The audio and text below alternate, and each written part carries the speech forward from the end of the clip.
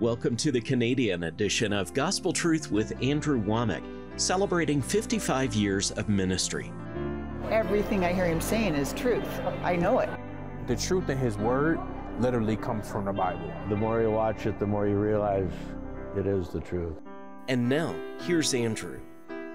Welcome to our Monday's broadcast of the Gospel Truth. Today is my final week of teaching on four basics of hearing God's voice. This is the beginning of my fourth week, and I've spent one week talking about each one of these four things.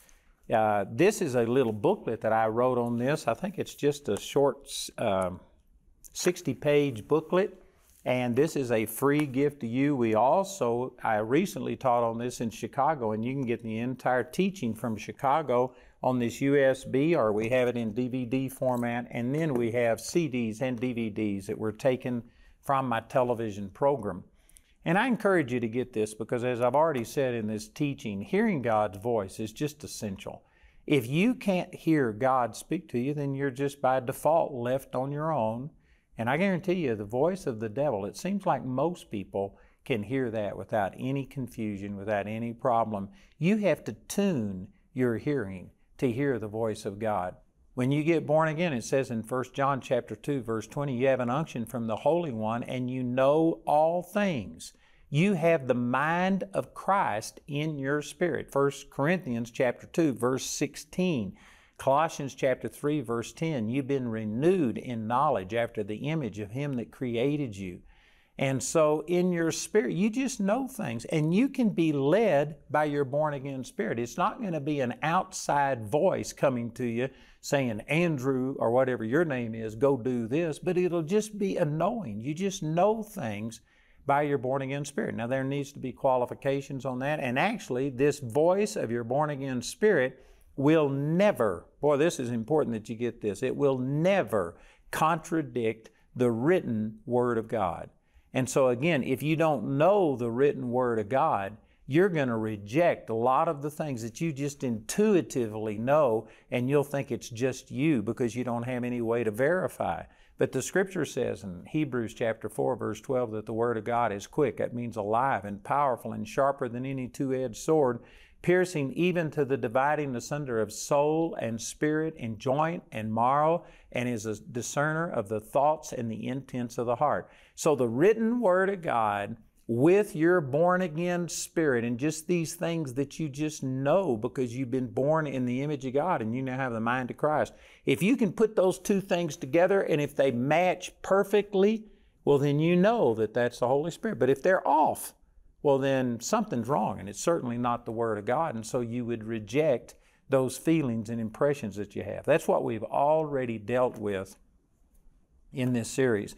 What I want to talk about now is about how that the Holy Spirit can speak to you supernaturally beyond just your spirit. Now, in, in a way, it's hard to distinguish here, as it says in that verse I just quoted in Hebrews chapter 4, verse 12, that the Word of God is quick and powerful, sharper than any two edged sword, piercing even to the dividing asunder of soul and spirit, showing you that the difference between your soul and your spirit is it's very hard to distinguish. The only thing that can really do it, the only thing that's sharp enough to divide asunder, is the written Word of God. And so, uh, when I'm talking about the difference between your spirit just knowing things and then the Holy Spirit giving you revelation, it's really just for the uh, purpose of discussion, for analyzing and understanding that we can make a distinction. Because our spirit, it says in 1 Corinthians chapter 6, verse uh, 17, he that is joined unto the Lord is one spirit. So our spirit is joined with the Holy Spirit, and they are so closely united that just for the purpose of discussion, we can make a distinction between them. But the Holy Spirit can speak to you in ways beyond just your spirit knowing things. For instance, you can receive prophecy. And again, I could spend weeks teaching on the gifts of the Holy Spirit out of 1 Corinthians chapter 12. Let me just turn over here and just make reference to this. I'm not going to take time to teach on this, but in 1 Corinthians chapter 12, the Apostle Paul begins to talk about the gifts of the Spirit. And he said in verse 7, he says, But the manifestation of the Spirit is given to every man to profit withal. I believe that this is speaking about the every born again believer. Not even unbelievers don't have this, but people who have received salvation and received the baptism of the Holy Spirit have God giving them some gift of the Holy Spirit. And it says in verse 8 For one is given by the Spirit the word of wisdom, to another the word of knowledge by the same Spirit, to another faith by the same Spirit, to another the gifts of healing by the same Spirit, to another the working of miracles, to another prophecy, to another discerning of spirits, to another's divers kinds of tongues, and to another the interpretation of tongues. Now, again, we could spend time on each one of these, but God can speak to us supernaturally through the gifts of the Holy Spirit. You know, if you've watched my program, there's many times that I've referred to things that God spoke to me in prophecy through another person. One of them was about me running on a track and I was leading the race, but the people in the grandstands were yelling at me, and, and this person saw me getting off of the track and going into the grandstands and arguing with the spectators and saying, even if you win the argument, you're going to lose the race. And this was God speaking to me and showing me that I was trying to defend myself against people who were saying that I was doing it all wrong. And even if I won the argument, Satan was going to win because I wasn't preaching the gospel anymore. I was defending myself. That was a word from God. That was God speaking to me. And I have quoted this over the last four or five decades hundreds of times, and it's made a huge impact in my life. That was a gift of the Holy Spirit. I've also spoken about how that when we were beginning to build out our property and I just, things weren't working financially, I was trying to get a loan. And I was praying and saying, God, what, what do I need to do? God brought back to my remembrance a prophecy that was given to me that says you aren't going to need a loan because you own a bank. And they went on to say that your partners are your bank, and you, they, you cannot build more than your partners can pay for. That was a prophecy. And I had literally forgotten it for two years. But when I came into this financial crunch, all of a sudden I was praying and asking for wisdom. And the Holy Spirit brought that back to my remembrance. And this is how He spoke to me. Now, I spent a week because it was a big decision. I spent a week going back to the Word and seeing does what I'm saying and what has been prophesied, does it match up? You know, I, I, don't know if you can understand this, but see, if it matches perfectly like this, well, then that gives me a confidence that this is God. But if it had been off, well, then I would have said, this isn't God. But there's scriptures that says, oh, no man anything but to love one another. I don't believe it's saying that you're in sin if you are if you're in debt, but it's saying that's not God's best. And Deuteronomy chapter 28 says that you'll be so blessed that you'll lend unto many nations, but you shall not borrow. And on and on I could go with different things. And so as I went to the Word and as I let my spirit bear witness, the Word of God, my spirit felt peace, which I taught on that last week about let the peace of God rule in your heart. My spirit felt more peace about not taking out a loan and just trusting God for the finances. So here was the Word of God, here was my spirit bearing witness, and then the Word of God that I had through this prophecy bore witness. All three of those things matched perfectly, and it gave me a confidence that I was hearing from God. And I acted on it. And I tell you, it's one of the greatest decisions I've ever made. But this is how you hear from God. And again, many of these things are subjective. You can take a scripture and you might interpret it one way that isn't actually what it's saying. I've had many scriptures. The church that I was brought up in twisted scriptures to say that miracles don't happen today, that the baptism of the Holy Spirit isn't for today, and on and on it goes.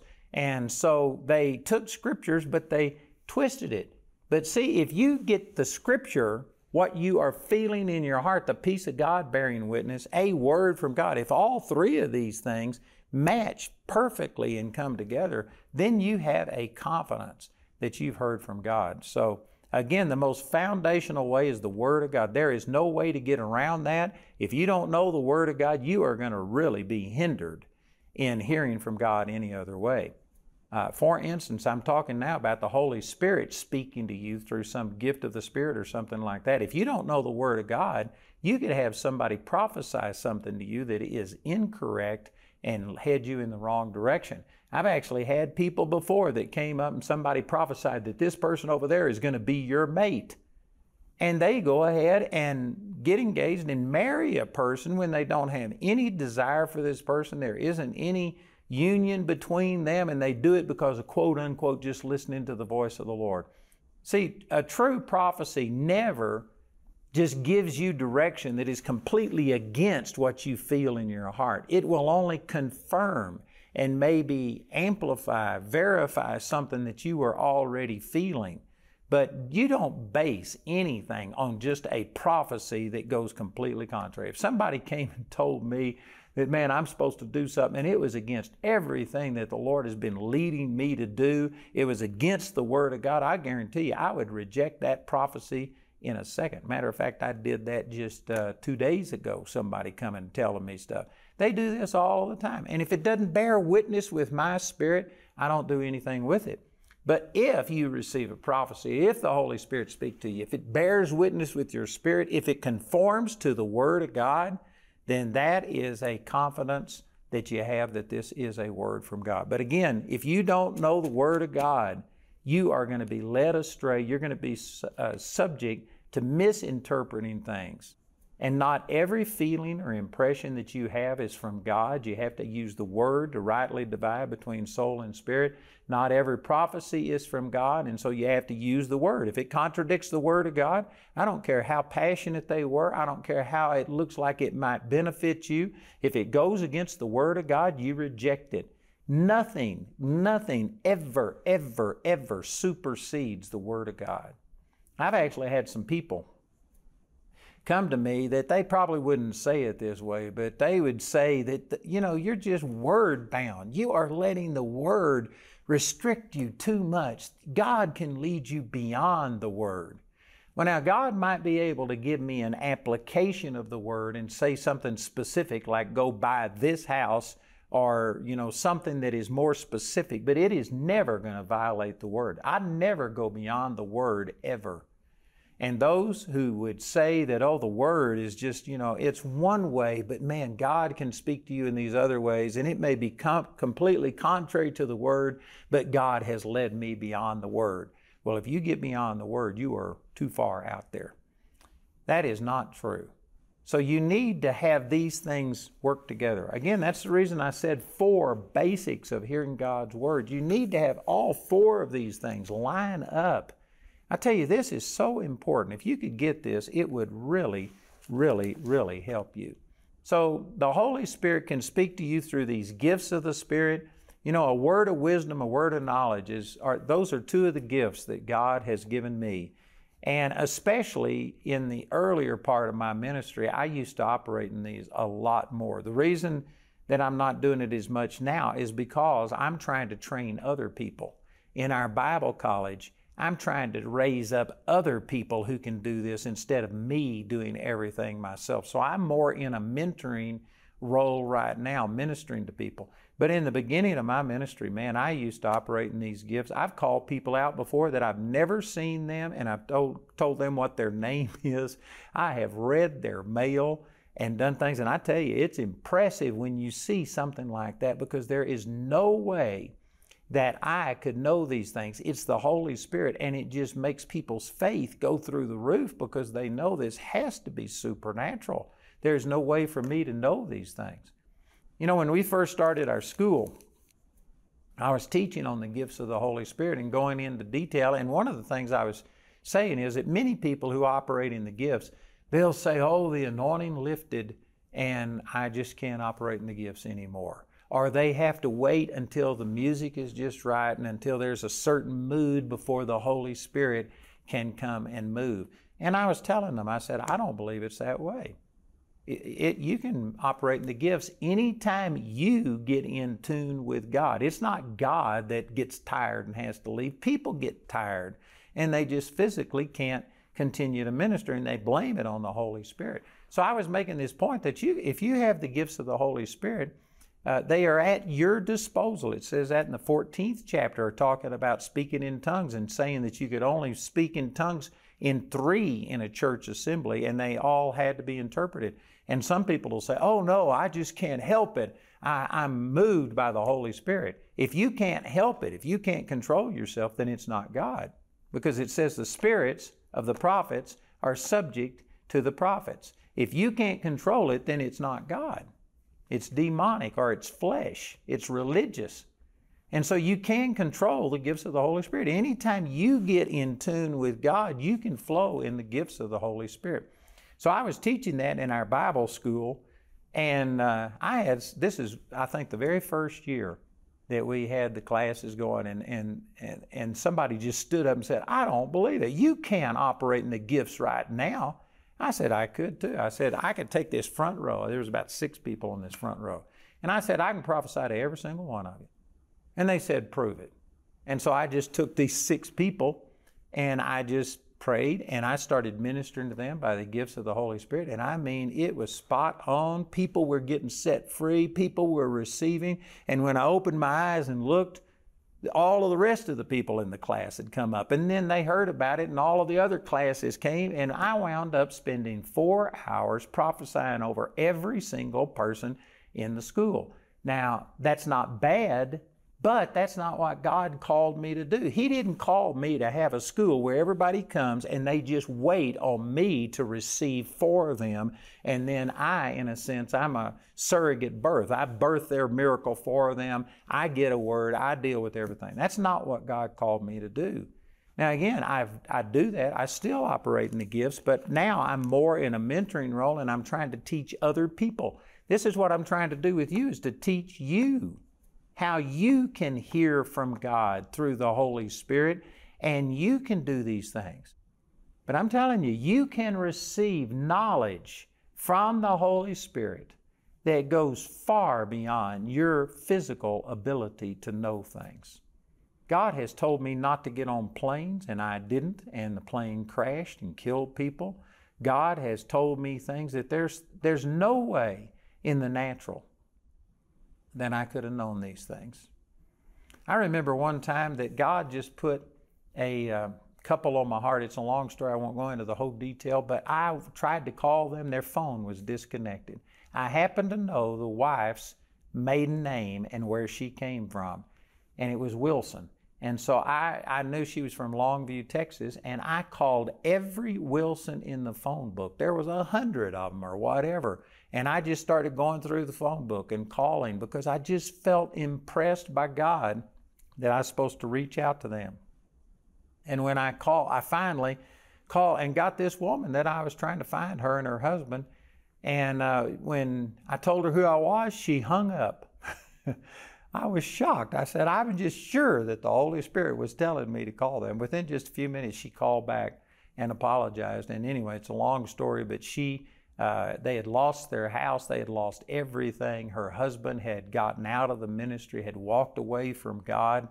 And she was just praying and saying, God, I know we don't have a phone that we've had for years. Nobody knows where I am, but you're God you could you could have somebody call us. We've traveled all over the world ministering to people. You could have somebody call me and as she was praying i called and it startled her so much she hung up. But see that was god. There's no way i could have known that. And i was able uh, god used me to get her husband back into the ministry. Man that's awesome did you know you can hear from God? Like I've had that happen to me. I remember one time that I was being railroaded out of a church in Pritchett, Colorado, and I was just sitting there thinking, oh God, I need some help.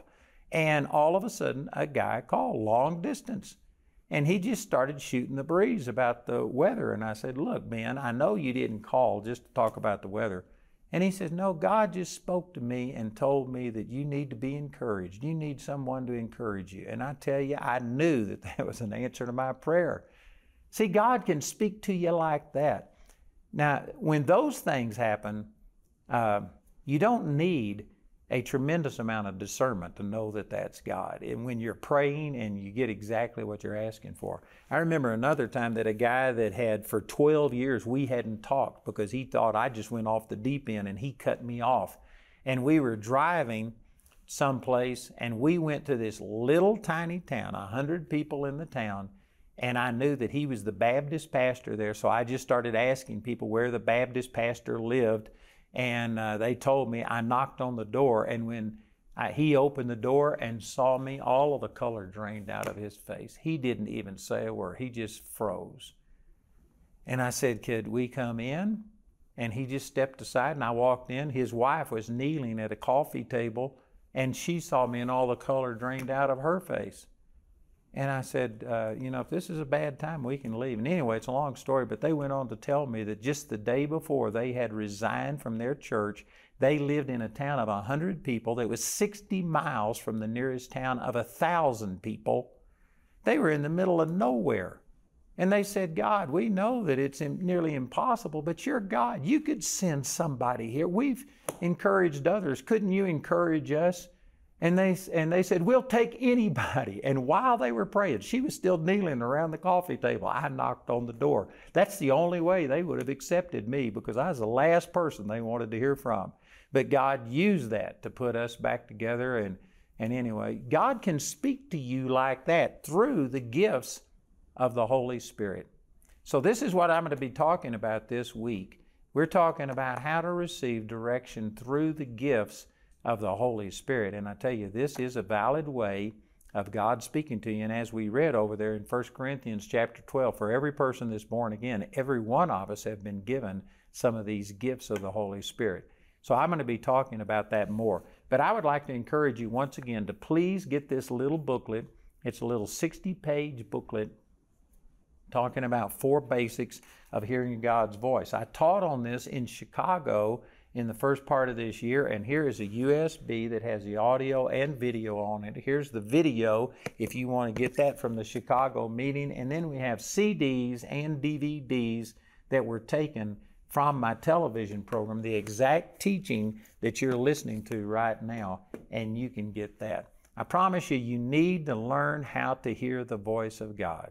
I don't know how people make it that are just on their own and they aren't being led by God. That's not the way that God intended us to live. So I really believe that this would help you. This is a free gift. We'll give it to you regardless of whether you send anything or not. Listen to our announcer and please call or write today. Just as I was teaching on our program today, I've learned how to hear God's voice, and God has clearly spoken to me about Charis Bible College and about expanding it, at least doubling the size. We need student housing, we need a student activity center where we can feed and we can also have more classroom space. We need athletic facilities, we need a hotel conference center, we need a performing arts center, and just so many other things. I know that God has spoken to me about it, and this is going to be hundreds of millions of dollars to build this, and the Lord has spoken to me and told me to do it debt free.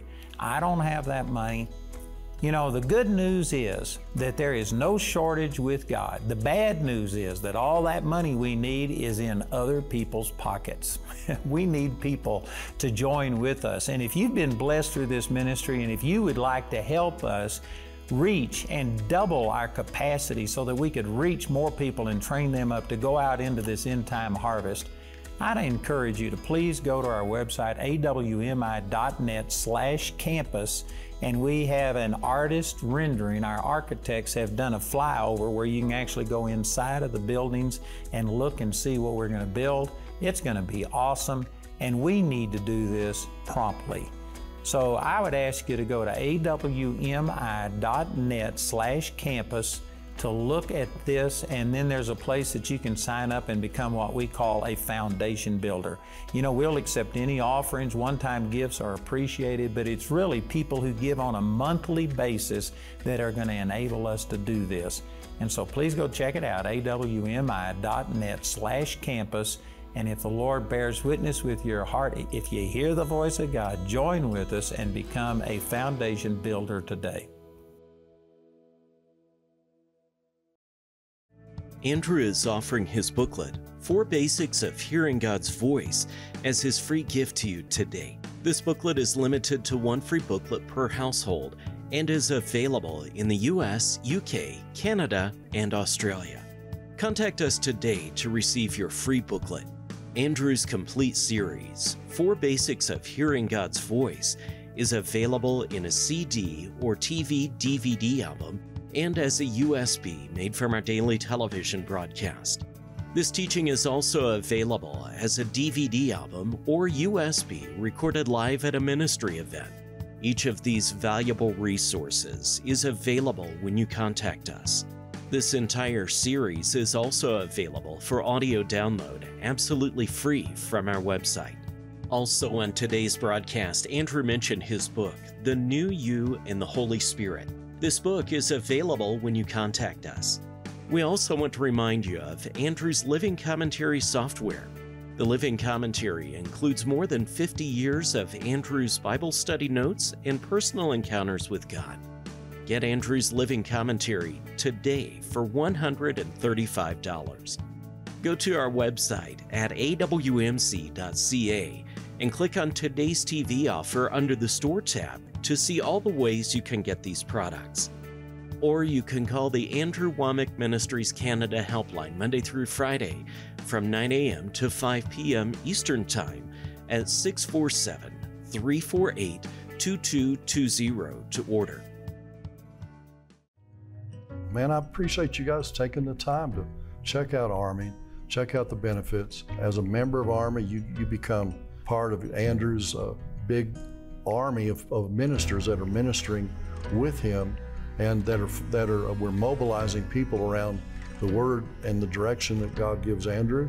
Plus, you get Andrew's live Bible commentary. Then you, we also get you get four Charis Bible College courses per year. The benefits that you get are just, uh, I wish I would have had these when I pastored. What a help. And I just want to encourage you to check these benefits out. We can do more uh, together than we can individually and on our own.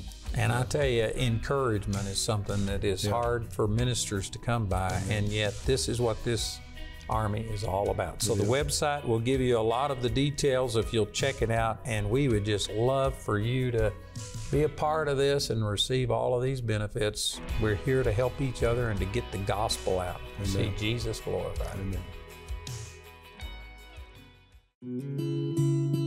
I'd like to let all of you, our Canadian viewers, know that we have a Bible college in Toronto.